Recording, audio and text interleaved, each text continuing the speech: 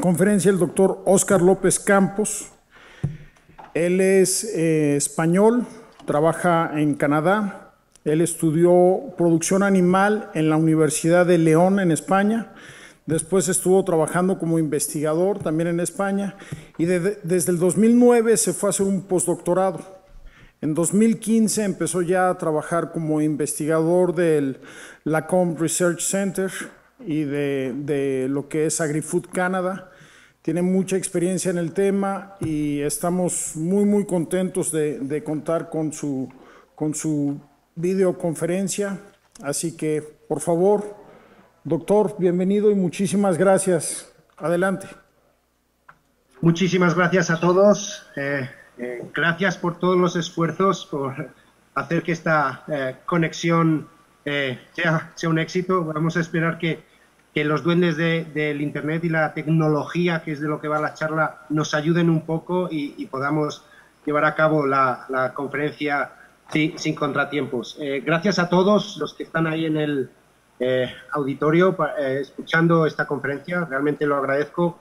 Y muchísimas gracias a, la Asociación Mexicana de Ciencia y Tecnología por la invitación para esta conferencia y particularmente a Enrique, al doctor Enrique Delgado y a la doctora María Salud por, la invitación. Eh, realmente aprecio toda la ayuda que, me han prestado. Eh, para comenzar un, poco, pues la charla va acerca de las nuevas tecnologías para la evaluación de los canales y carne bovinas. Eh, siguiente diapositiva, por favor. para empezar la charla, quiero empezar con, con una eh, frase eh, dicha por un economista, un estudioso en economía y, negocios, que dice así que la fábrica del futuro estará compuesta de dos empleados, un hombre y un perro. El hombre estará ahí para dar de comer al perro y el perro estará ahí para mantener alejado al hombre de los equipos y de la tecnología y que así no los toque, que no suceda nada, que no se estropee eh, la, evaluación o, la tecnología. Siguiente, por favor. La siguiente frase que quiero mencionar acerca de esto es eh, hecha por un ingeniero o un desarrollador de, programas de, juego eh, en Internet y dice que el 90% de lo que se considera imposible es realidad posible y que el otro 10% llegará a ser posible con el paso, perdón, con el paso del tiempo y la tecnología. Esto es lo que para mí resume el avance de la tecnología, lo que la tecnología nos va a traer y, lo que nos va a ayudar en nuestras vidas. Eh, la tecnología va a estar presente en todos nuestros campos. De hecho, lo está presente a diario. En este mismo instante, por ejemplo, estamos teniendo una videoconferencia eh, eh, separada por un montón de kilómetros. ¿eh? Cosa que eh, hace unos años era imposible de pensar. Y eso es el avance de la tecnología. Siguiente, por favor. Esto, la tecnología, el avance de la tecnología no es ajeno a la implementación, a la clasificación y a la tipificación, ¿de acuerdo? Este avance de tecnología, estas nuevas tecnologías llegando a la clasificación y a la tipificación o evaluación de la carne, eh, se, está produciendo día a día. Y estas nuevas tecnologías que vienen eh, van a permitir una mejora en la evaluación, o lo que se busca es una mejora en la, evaluación, logrando una mayor precisión que nos va a dar una mayor eh, consistencia del producto que eh, evaluamos y que segregamos entre los diferentes grupos. La tecnología nos va a ayudar a ser más homogéneos y consistentes a la hora de evaluar y nos va a dar de una manera más precisa información mucha información. La tecnología, las nuevas tecnologías nos van a dar eh, eh, una gran eh, y una detallada masa de datos o de información. Esta información es necesaria, ¿para qué? Pues es necesaria para mejorar el producto y obtener todavía un producto aún más homogéneo. ¿Cómo se obtiene este producto aún más homogéneo? Pues aplicando esta información en los sistemas de producción y selección, es decir, haciendo un análisis de esta información, de lo que nos dan los, eh, eh, las eh, tecnologías que estamos aplicando o los sistemas de clasificación y aplicar esa información en nuestros sistemas de producción y selección. Para que esto sea em, exitoso, necesitamos que la información que obtenemos de estos sistemas fluya en las diferentes, lo, cual a veces siempre es un reto, pero que fluya entre los diferentes niveles de la industria. Es decir, que la información que obtenemos a nivel de clasificación, y voy más allá, la información que obtenemos a nivel del consumidor, fluya a través de los eh, diferentes niveles de la cadena y llegue a los productores de esas, eh, los animales que van a, producir el, producto. ¿eh? Entonces, para que esto sea, para que estas herramientas tecnológicas sean efectivas, es también eh, un requisito imprescindible el, flujo de información entre los diferentes niveles.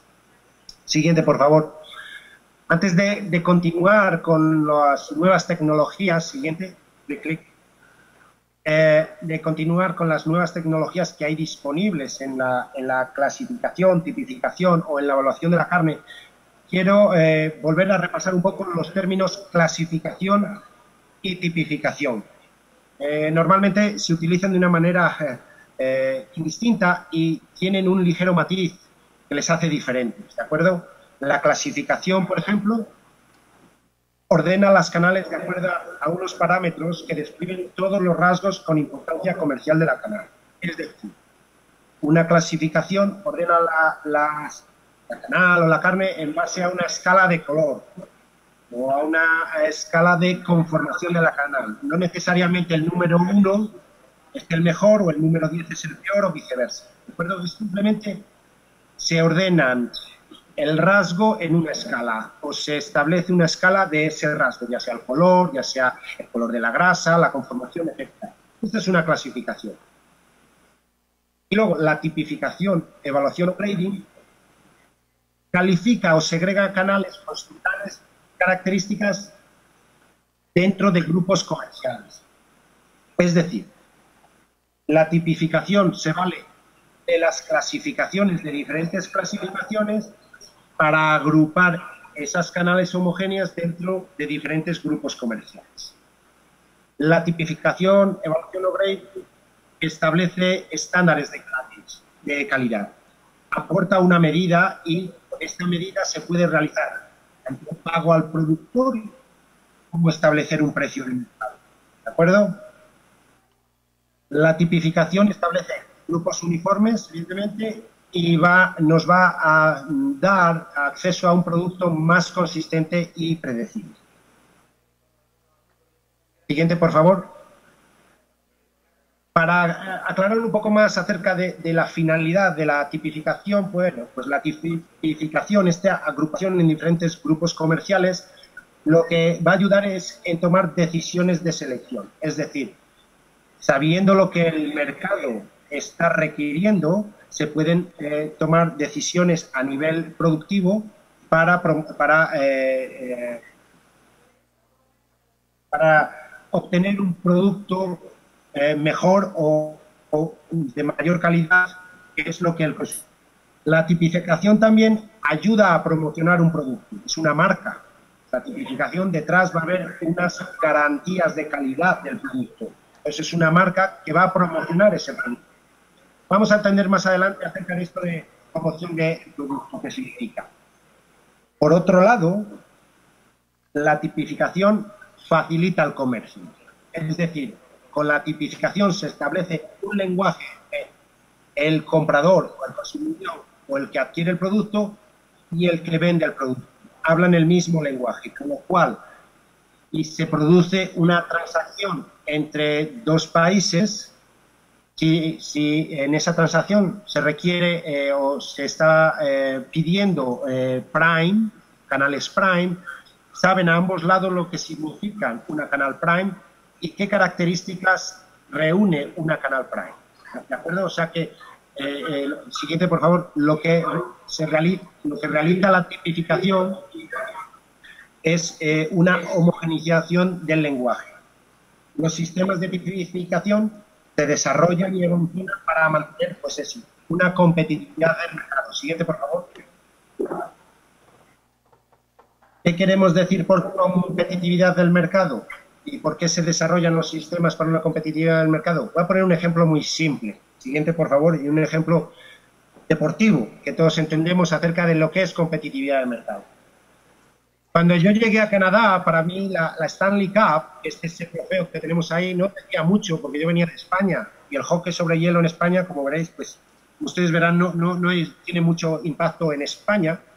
¿eh? Siguiente, por favor, pero si, si vemos eh, ya, si vemos el trofeo que hay a la derecha, es la Copa del Mundo de, de Fútbol, eso se dice. Ese trofeo lo pones en cualquier parte del mundo y todo el mundo conoce y sabe el significado de ese trofeo. Con este ejemplo tenemos lo que significa la competitividad de mercado, lo que significa eh, el, tener un nicho de mercado, ¿de acuerdo? Lo mismo sucede con la tipificación. La tipificación, por medio de eh, mm, eh, los sellos de, calidad de, la tipificación o el grading, van a tener una competitividad de mercado. Es decir, un producto que está clasificado como Prime es un producto top, es un producto de alta gama que todo el mundo reconoce, como es la Copa del Mundo de Fútbol, ¿de acuerdo? Todo el mundo reconoce. Tú vas a un restaurante, ves que es Prime y vas a decir, yo quiero esto, ¿de acuerdo? Esa es la competitividad del mercado. Siguiente, por favor. Todas las industrias tienen sus sistemas, todo se clasifica en la vida todo. Entonces, todas las industrias, la industria de frutas, siguiente, por favor, la industria de vegetales, siguiente, por favor, la industria del grano, la industria de la madera, todo en nuestra vida es algo inherente al ser humano, se clasifica y se segrega y se tipifica. ¿Y para qué? Pues para lo que hemos dicho, para mejorar estándares de calidad poder responder a lo que el consumidor requiere. Siguiente, por favor. Los eh, sistemas de tipificación y, clasificación no son estáticos. Eh, es, un sistema vivo que está bajo una permanente evolución. ¿De acuerdo? ¿Y por qué está bajo esta permanente evolución? Bueno, pues porque tienen que responder a las necesidades del mercado y para responder a estas necesidades deben adaptarse y ajustarse. Entonces, si vemos el gráfico de las... Aquí he intentado un poco poner los diferentes cambios que ha sucedido en el sistema de tipificación canadiense. Desde un principio, cuando los eh, consumidores buscaban su carne, sus canales a nivel local, comienza un eh, mercado internacional, se comienzan a establecer las eh, primeras políticas de clasificación para hablar un mismo lenguaje y poder hacer, eh, poder hacer que ese mercado internacional sea más eficiente. Conforme va evolucionando y el consumidor mm, requiere un producto más especializado, pues, pues los sistemas de clasificación se van ajustando, evolucionando y mejorando para responder a esas necesidades o a, esos requerimientos que pide el consumidor. ¿Cuál es la última evolución a la que estamos asistiendo en estos sistemas? Bueno, pues es bien claro. La última evolución a la que estamos asistiendo es la incorporación de las nuevas tecnologías, todas las nuevas tecnologías que están viniendo. Siguiente, por favor. He puesto el ejemplo de Canadá, pero este evolución no es algo exclusivo de un sistema de clasificación. Aquí tenéis, por ejemplo, el sistema, en, una referencia al sistema europeo. Todos los sistemas de tipificación están sufriendo una continua evolución para adaptarse a, los tiempos. Y eh, el paso que toca ahora o al que estamos asistiendo es la incorporación de nuevas tecnologías. Vamos a comenzar a hablar de las nuevas tecnologías. Siguiente, por favor. Vamos a comenzar con el espectro electromagnético y vamos a comenzar por aquellas tecnologías que, que trabajan con el espectro visible de la luz, que son los sistemas de análisis de visión. Siguiente, por favor. Los sistemas de análisis de visión dentro de las nuevas tecnologías son, son em, herramientas de tipificación que ya están muy bien implementadas. Es algo que no está en fase de desarrollo o fase de experimentación. Es una tecnología bien asentada que ya está funcionando en, muchos, eh, eh, en muchas plantas de sacrificio a nivel internacional. Fundamentalmente hay dos sistemas. Uno es el de la canal eh, completa, que podéis ver en vuestra parte izquierda, la canal completa. Este es un sistema sobre todo para el sistema de clasificación y tipificación de canales europeo. Nos da una idea del recubrimiento graso y de la conformación de la canal. ¿De acuerdo? Es la canal entera. Y en, vuestra parte derecha podéis ver un sistema de análisis de visión para tipificación y clasificación que, es, eh, es una tipificación, una clasificación a nivel de costilla, entre la 12 y la 13. Esto sobre todo es para el sistema norteamericano y en, México también, que se requiere una evaluación de la costilla entre la decimosegunda y la decimotercera.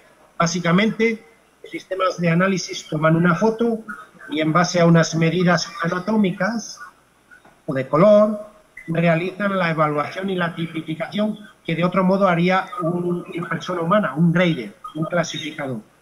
Esto es lo que hacen estas herramientas de, análisis de visión. Siguiente, por favor.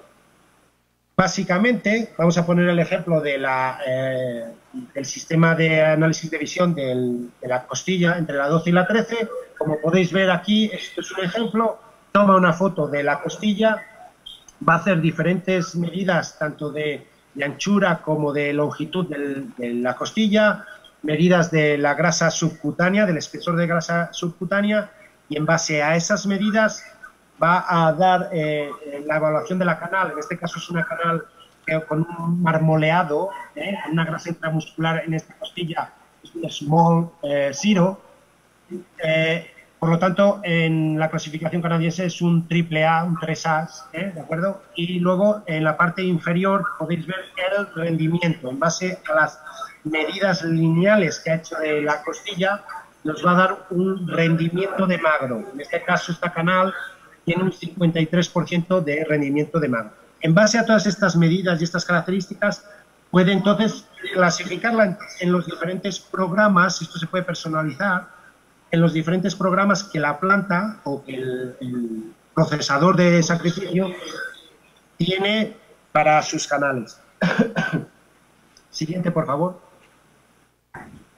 La siguiente tecnología que está, eh, va a ser, eh, está eh, introduciéndose para ayudar en la evaluación de canales y en la evaluación de carne es la tecnología de infrarrojo cercano la espectroscopía de infrarrojo cercano, que trabaja en, el infrarrojo eh, a nivel electro, del, del espectro electromagnético. Siguiente, por favor. Brevemente, eh, eh, una explicación de esta tecnología básicamente es una, una de luz monocromática que incide sobre la muestra. Al incidir sobre la muestra, parte de esa luz puede atravesar la muestra puede ser parte absorbida por la, eh, se absorbe por la muestra, pero parte es reflejada. Esa parte de luz o energía que es reflejada o que puede atravesar la muestra, en algunos casos depende de los sistemas, puede ser en los, los eh, sistemas, los diferentes modelos de NIR pueden ser por reflectancia, transflectancia, hay diferentes sistemas, pero básicamente es o la, eh, el haz de luz que es reflejado o el haz de luz que puede atravesar la muestra. Esa energía se recoge por detectores y estos detectores recogen la información eh, eh, de, la energía reflejada en el espectro electromagnético. Entonces tenemos una longitud de onda en nanómetros reflejada que vamos a correlacionar con la composición química. Entonces, una vez que está correlacionado y tenemos nuestras ecuaciones de predicción, esta tecnología nos va a permitir estimar la composición química de nuestra muestra, ya sea la canal, ya sea una muestra de carne, ya sea una muestra de carne picada. Entonces vamos a tener una estimación de la materia seca, proteína, grasa bruta, energía, cenizas, etcétera. Incluso ahora, eh, por ejemplo, eh, aquí en la COM estamos haciendo estudios utilizando tecnología NIF que nos permite segregar o agrupar las canales en base a su perfil de ácidos grasos. En el perfil del perfil de ácidos grasos mayoritario. Es otro estudio que estamos realizando para aplicar la tecnología NIR. Otro ejemplo de la, de la aplicación de la tecnología NIR, siguiente por favor, es por ejemplo, siguiente, Siguiente diapositiva, por favor. Ahí, ahí Muy bien, gracias. Eh, otro ejemplo de la aplicación de la tecnología es, eh, o de la espectroscopía de infrarrojo cercano es para la segregación en base al color de la canal, al color de la carne. ¿De acuerdo? Eh, la tecnología, hemos realizado un estudio que se realizó aquí en la COM, vimos que la tecnología eh, NIR podría tener potencial para segregar eh, la carne en base al color. Y digo en base al color porque aquí, como en, en otros sistemas de clasificación, los cortes oscuros, ya sabéis el, problema que existe con el corte oscuro por un eh, proceso de estrés, de largo estrés en el animal previo al, al sacrificio, es un problema de calidad. tanto el consumidor como la carne con un corte oscuro eh, no, va a tener el mismo periodo de vida activa que una carne con un color normal. Tiene una serie de inconvenientes que tanto el consumidor no le gusta o discrimina en contra del corte oscuro o que la carne no eh, a nivel de procesado pues no tiene el mismo tiempo de vida útil. Eh, entonces, en los sistemas de clasificación, como por ejemplo el canadiense, estas, estas canales son, em, digamos, penalizadas y el productor es penalizado o la planta es penalizado por estas canales. Estamos hablando que en años se puede llegar a un 2% de las canales, dependiendo de cómo sean las condiciones climatológicas, el manejo de los animales. Eh, estamos hablando de muchos, eh, muchos eh, miles de dólares en pérdidas y en penalizaciones. una buena eh, objetiva eh, segregación de estas canales es necesaria, ¿eh? ¿de acuerdo? Para no segregar aquellas canales como cortes oscuros cuando en realidad son canales que necesitan un mayor periodo de oxigenación para alcanzar el color normal. Entonces, a, veces el, discriminar o el segregar cortes oscuros es un reto, ¿de acuerdo? La tecnología NIR es por medio de un estudio realizado aquí en la COM, siguiente por favor, se pudo comprobar que puede ser una herramienta que ayude en esta segregación de canales. Eh, siguiente diapositiva, por favor.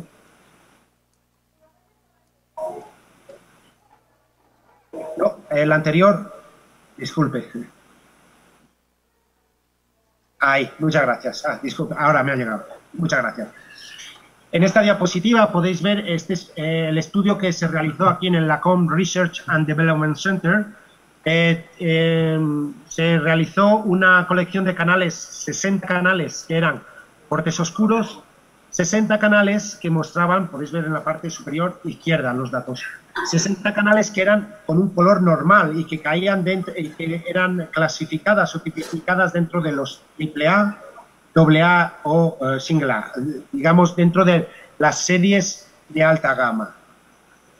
Eh, lo que hicimos fue, ahí podéis ver en la parte superior derecha los diferentes colores, eh, los diferentes colores de la carne. En la parte más hacia la derecha veis un corte realmente oscuro. También se, eh, se comprobó esto y se hizo un cruce de datos con el, el pH de las canales esa en particular, la de la parte más superior derecha, ese, ese filete de ahí, tiene un pH mayor de 6, ¿de acuerdo? Y es considerado un corte oscuro del libro. Mientras que la, el steak del medio, parte superior, el del medio, es, es un eh, borderline, es un color que está, no llega a ser dark cutter, pero empieza a tener esas características. Y en la parte izquierda de la foto tenéis un, un steak que es de color normal.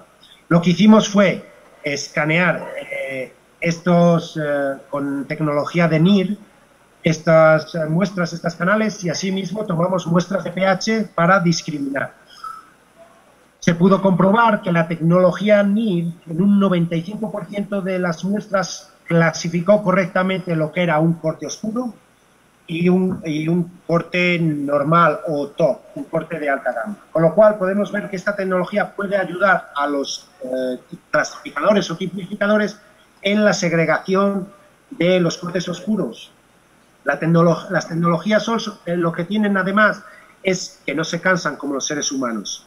Cuando están realizando la evaluación es consistente, homogénea, continua, siempre igual. No va a haber ningún tipo de... Eh, eh, si, la tecnología está bien calibrada y, se siguen los protocolos de verificación, no va a haber ningún tipo de desviación. Con lo cual, esta tecnología, si fuese aplicada a la tecnología NIR, realizaría una segregación perfecta, de, o, casi perfecta, al 95% de los cortes oscuros. Siguiente, por favor.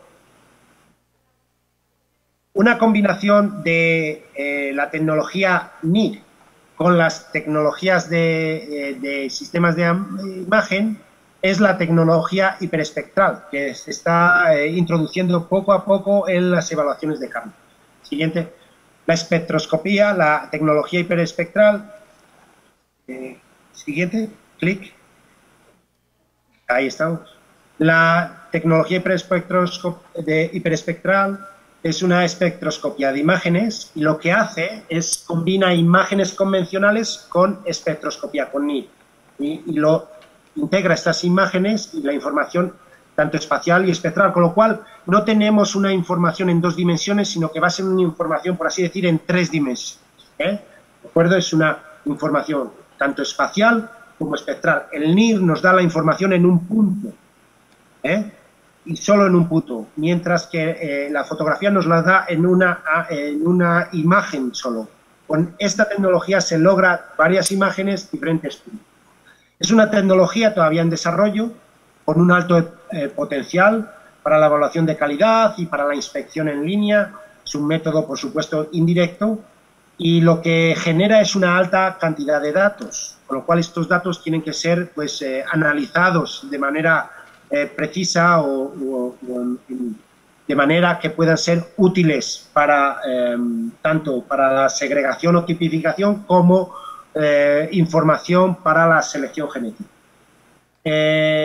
Esta tecnología, sobre todo, funciona en muestras heterogéneas y, según los estudios, muestras homogéneas como carne picada, etcétera, etcétera, no es, no, no, los la precisión eh, eh, disminuye en estas muestras homogéneas. Sobre todo es para muestras heterogéneas. Una de las limitantes ahora es el coste al estar en desarrollo, pero bueno, el coste, sabéis que con, eh, ustedes saben que con el tiempo las tecnologías, una vez que están implementadas y desarrolladas, el coste comienza a disminuir. Siguiente, por favor. La siguiente tecnología de la que vamos a hablar es la tecnología, eh, es una tecnología que utiliza, son las tecnologías que utilizan en rayos X. Y la primera de la que vamos a hablar es la tecnología Dual Energy X-Ray Absorptiometry. Es la, eh, la tecnología de energía dual de rayos X. ¿De acuerdo? Para daros un ejemplo del estudio que realizamos aquí en la CORM, en, esta tecnología, simplemente eh, lo que utilizamos fue un eh, densitómetro, eh, un, eh, un, un bond densitómetro, no encuentro ahora la palabra en español para decir, disculpadme, pero es, un, es para analizar la densidad de los huesos y que se utiliza en humanos. Este escáner es utilizado en medicina humana y simplemente se utiliza para hacer una estimación de la osteoporosis o para hacer una estimación de mm, los tejidos, tanto músculo, grasa, hueso, etc. Es una tecnología que también se usa a nivel de, por ejemplo, competiciones deportivas, para ver cómo los atletas están preparados a nivel físico, cuál es su composición de tejidos. Lo que pensamos es aquí que cómo no podríamos utilizar esta tecnología y aplicarla para la industria de la carne. Y lo que hemos hecho a lo largo de cinco años es escanear canales, ya sean de vacuno, de ovino, de cerdo, e incluso bison, eh, escanearlas, obtenemos una imagen de rayos X que luego correlacionamos con nuestro procesado, con nuestras mesas de procesado, con lo que el despiece, con lo que esa canal eh, va a rendir.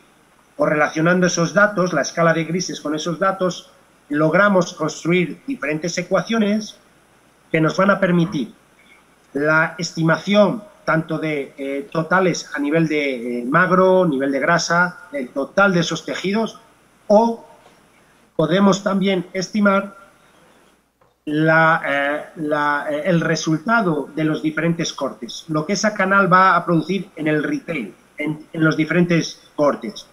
Por ejemplo, cuánto lomo va a dar, cuánto brisket, etcétera, etcétera. Esa es la idea. la idea en el futuro es que se puede escanear la canal y podemos instantáneamente conocer lo que esa canal nos va a dar. el ejemplo que siempre pongo es tenemos un diamante en bruto y queremos saber cuál es la mejor manera de cortar ese diamante para obtener el máximo rendimiento. Esta es la tecnología que va a ser como el GPS que nos va a decir por dónde cortar ese diamante, que en este caso es la canal. Algunos de los resultados eh, eh, están aquí en, resumen en esta tabla. Eh, para las diferentes, tenemos para los novillos, para las vacas, para cerdo, para eh, ovino, para corderos, y ahí podéis ver los resultados que son pues muy alentadores y eh, con, alta correlación y alta relación. la tecnología es eh, muy bastante precisa, es muy precisa y creemos que es va a ser una tecnología que va a ser en un futuro cercano implementada en los diferentes sacrificios, o sea, perdón, en las diferentes plantas de sacrificio para el procesado y para la segregación de las canales en base al rendimiento. Un ejemplo de esta aplicación es en Australia, en la cual ya están trabajando con esta tecnología. Eh, lo que hacen es escanear la canal. Oh, disculpe, eh, siguiente diapositiva. Disculpa.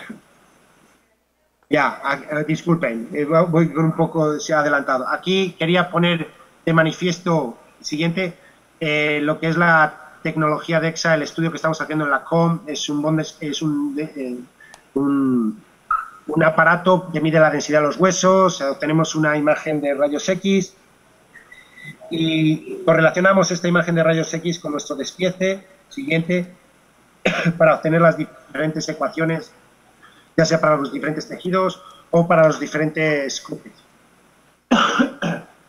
Disculpen, siguiente. Aquí hay un resumen de los principales resultados en los novillos, vacas, eh, ovino. Y como podéis ver, las, relaciones entre esta tecnología y las relaciones con, la ecuación son altas, con lo cual nos dice que tiene un alto potencial para ser eh, implementada, como eh, estaba diciendo, implementada en, en las plantas de sacrificio para ayudar en la fabricación de las canales. Siguiente, por favor.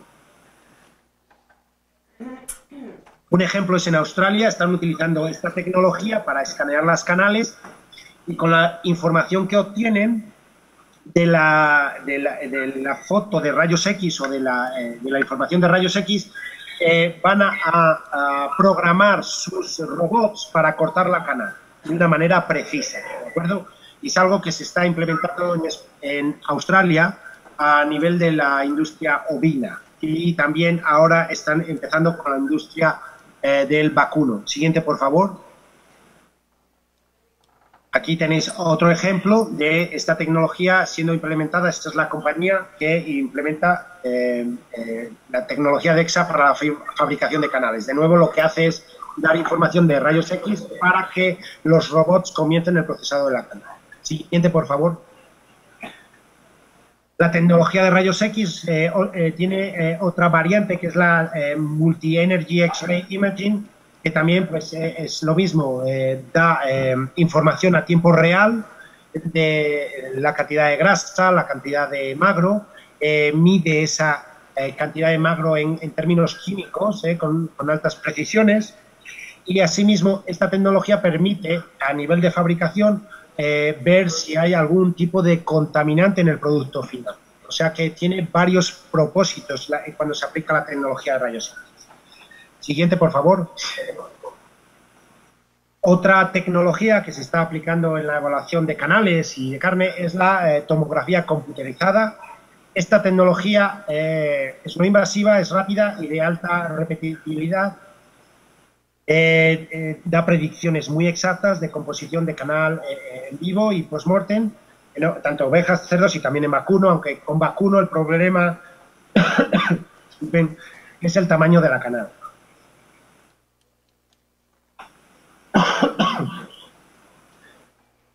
Además, eh, otro inconveniente de esta tecnología es el nivel de rayos X, el nivel de energía que, produce. Siguiente, por favor.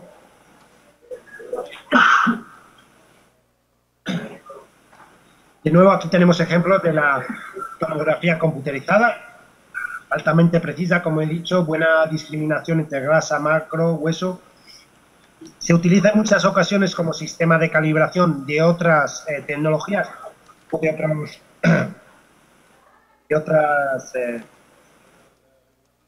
de otros análisis. Hay un sistema online en desarrollo de canales, para canales porcinas en línea. Siguiente, por favor. Disculpen, me está entrando un picor de garganta. La siguiente tecnología el receso, doctor Campos. Aprovechamos el receso. Técnica rápida, no destructiva, eh, requiere un equipo sencillo. Doctor, eh, para decir, doctor, para decirle, le quedan cinco minutos, por favor. De acuerdo. Gracias. Es otra, eh, la medida de impedencia es otra tecnología, es una medida en un único punto y tiene diferentes métodos. Tenemos también la, la tecnología por ultrasonidos, acuerdo? Se mide a nivel de la decimosegunda vértebra y da espesores de grasa, la costilla, el peso ajustado, el rendimiento. Hay muchas tecnologías, eh, estas son las principales que están eh, actualmente implementándose o que ya están implementadas y el futuro predecir cuál de ellas va a ser la más satisfactoria es difícil. No debemos olvidar también eh, otro tipo de, tipificación y segregación en base al, ADN, a la genética eh, y a la evaluación del ADN y la selección. Un ejemplo está en, fases muy tempranas, es la tecnología CRISPR, que es el, copiado y el pegado de acuerdo del ADN para actualmente en fases muy tempranas para evitar enfermedades congénitas, pero en un futuro puede ser también una tecnología para hacer una segregación y una tipificación. Eh, debemos mantener eh, un ojo o, tener en mente también el, sistema eh, de clonación como una tecnología para la mejora en, en el producto eh, no voy a ir a, lo largo de estas eh, eh, definiciones acerca de la tipificación. Básicamente lo que quiere decir es que la tipificación responde a, una demanda del, consumidor y una manera de segregar y con la tecnología va a ayudar a mejorar esta segregación y esta tipificación. ¿Para qué queremos esta mejora? Pues básicamente la queremos para competir con otros productos como por ejemplo las eh, hamburguesas de laboratorio que tarde o temprano van a llegar a nuestros mercados. Están en fase de experimentación, pero más, más temprano que tarde yo creo que van a llegar. Y es algo con lo cual tendrá que competir los productos que tenemos actualmente y para esto las nuevas tecnologías ayudarán a segregar los productos y diferenciarlos de estas... Eh, de estos eh, nuevos productos que vienen. En resumen, lo que quiero decir que es que con las nuevas tecnologías nos va a ayudar a definir y a describir de una manera más precisa los productos que tenemos actualmente. Siguiente, por favor, siguiente diapositiva. Siguiente, siguiente. Siguiente. Siguiente. Siguiente. Siguiente, sí. Siguiente. En conclusión, eh, estas son las definiciones que hacía acerca de la tipificación. Siguiente. Siguiente. Hay. Siguiente. Siguiente. Siguiente. Ya. La última es esta. En conclusión es eso. Las nuevas tecnologías nos van a ayudar a la segregación de estas marcas de calidad o estas marcas certificadas. Y ese es el principal propósito de las nuevas eh, tecnologías, ayudar a esta evaluación. Muchas gracias y disculpar, es, un reto a veces hacer esto a, a nivel remoto. Eh, disculpar por todo el, el, retraso en, en las eh, diapositivas.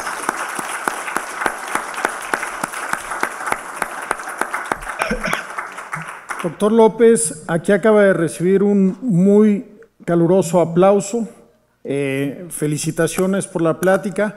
Siempre es un reto enorme hacer una videoconferencia y la verdad es que ha sido muy, muy interesante.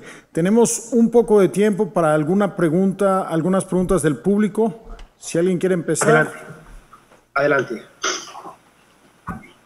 Sí, por favor. Mi interés va hacia la elaboración de hamburguesas a partir de, un medio de cultivo. Estoy viendo que a nivel caja Petri están desarrollando una, una carne destinada para la elaboración de hamburguesas. ¿En cuánto tiempo se obtiene esa hamburguesa? Nos están preguntando. Sí, Sí, adelante. Entendí, entendí la pregunta, la he oído. No tengo esa información a, mi disposición. Em, ¿Puede haber alguien en la sala que puede responder algo que, ha podido estar en contacto con esta eh, ¿Tendremos... tecnología? Pero en mi caso yo no, no sé el, tiempo que requiere la producción de una hamburguesa eh, a nivel de laboratorio. No tengo esa información disponible. No hay problema. Vamos a tener una plática más adelante hablando sobre ese tipo de temas, de la producción de carne in vitro. Doctor Nelson, por favor.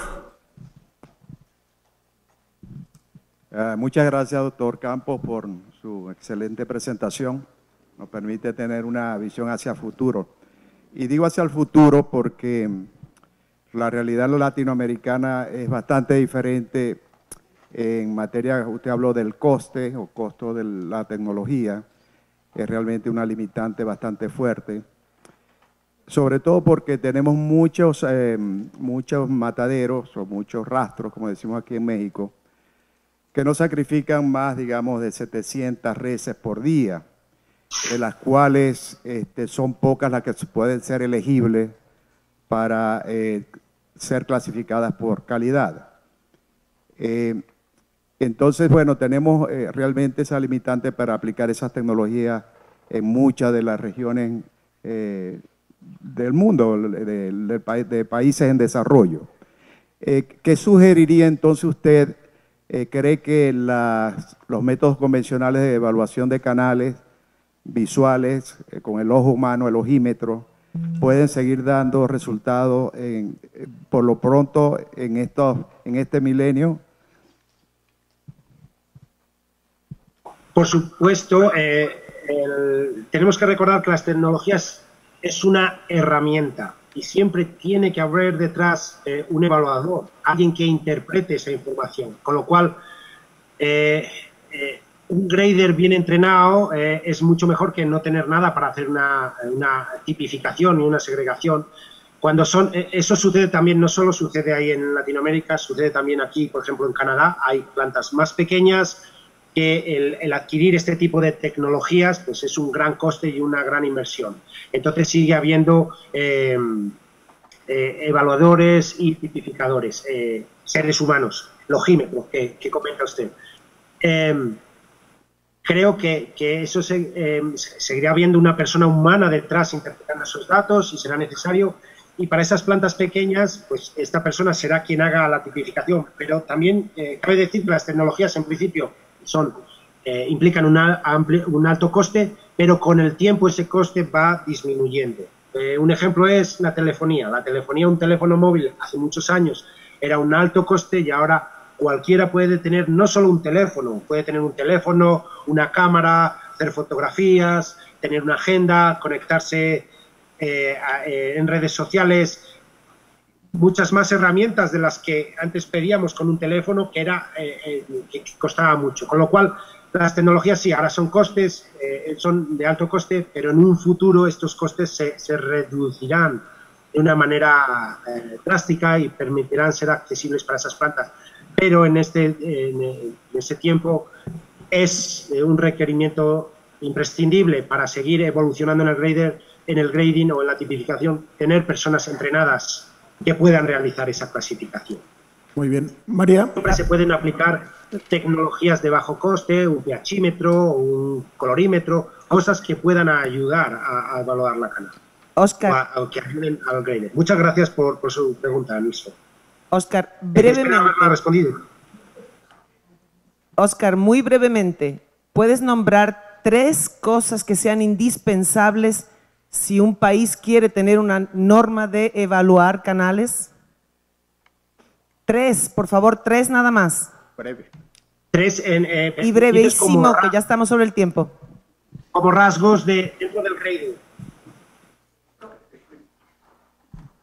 Como rasgos dentro de la tipificación, quieres decir, ¿no? No, no, no. Si necesitamos tener una norma, una, clas- una, una ley, una norma, lo que tú quieras llamar, una regulación, ¿por dónde debemos empezar? Tres cosas por la- los tres primeros pasos, nada más. Fundamentalmente es analizar el mercado que ustedes tienen ahí, eh, lo que requiere el productor, lo que requiere, disculpen, el consumidor, el mercado, en, vez, en base a ese mercado desarrollar las principales características, los, factores clave que van a evaluar para segregar en los diferentes grupos eh, eh, de calidad en base al mercado. No necesariamente eh, tendrán un mercado doméstico o un mercado internacional. En base a esos mercados deben desarrollar el grading, eh, la tipificación, para reunir o para responder a la demanda que tienen ustedes de mercado y mejorar así el producto. Características, pues en principio la, la madurez de los animales, el marmoleado que requiere su mercado y, y una vez que eh, el color de la carne que requiere ese mercado, una vez que han hecho esas auditorías que saben lo que el mercado doméstico requiere, el mercado internacional requiere, saben los factores clave que tienen que aplicar en su eh, tipificación personalizada para su para- país. ¿eh? Y en base a eso crean estos factores clave y esas eh, determinaciones y los, los grupos.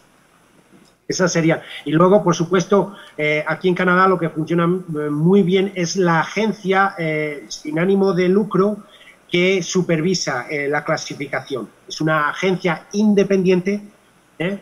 Que supervisa esta clasificación y, y se asegura de que eh, la tipificación es eh, el servicio es provisto con unas eh, garantías. Esas serían Oscar. las tres: analizar el mercado, desarrollar los factores clave que se requieren y tener una agencia independiente del mercado que eh, provee ese servicio.